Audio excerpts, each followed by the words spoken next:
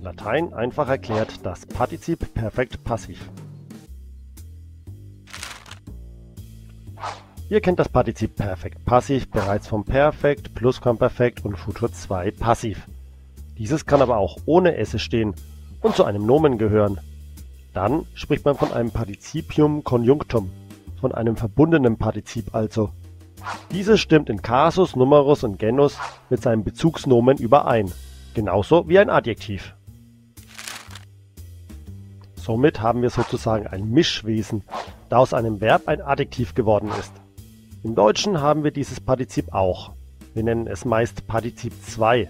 Zum Beispiel das Partizip 2 von ergreifen heißt ergriffen, also die ergriffene Frau oder der ergriffene Sklave.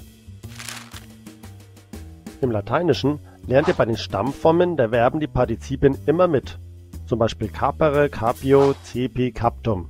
Dieses captum kann als PPP nun zu allen möglichen Nomen hinzugefügt werden. Dabei bildet es alle Endungen der A- und O-Deklination wie ein Adjektiv auf us a um, also captus capta captum. Wie wird das Partizipium Conjunctum übersetzt? In dem Beispielsatz Europa adeo capta clamavit kann man das Partizip im Deutschen nachmachen. Die vom Gott ergriffene Europa, die mythologische Frau ist hier gemeint, schrie. Das klingt aber oft etwas umständlich. Oder man bildet einen Relativsatz.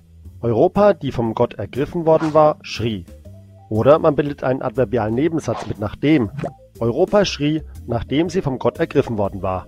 Manchmal bietet es sich auch an, einen Weil- oder Obwohl-Nebensatz zu bilden. Mit nachdem funktioniert es aber meistens ganz gut. Wie ihr bemerkt habt, sind die Nebensätze, die ihr aus dem Partizipium Conjunctum bildet, immer vorzeitig zu übersetzen. Steht also im Hauptsatz Präsens, übersetzt man Perfekt oder Präteritum. Steht der Hauptsatz in der Vergangenheit, nimmt man Plusquamperfekt. Wichtig ist, dass ihr unterscheidet, ob bei dem PPP auch ein SS steht. Dann habt ihr nämlich einen normalen Passivsatz. Zum Beispiel Europa adeo capta est, Europa wurde vom Gott ergriffen. Oder ob es sich um ein Partizip ohne Esse handelt.